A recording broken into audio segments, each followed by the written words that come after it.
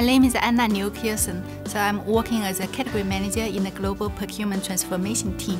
My job is important. A part of our job is to assess the supplier risk. Before we engage a supplier, we need to make sure the supplier meet up our standards to protect our brand products, people, and customers. One big focus in procurement in our department is sustainability. So I believe it's very important. We have a lot of sustainability agenda initiatives.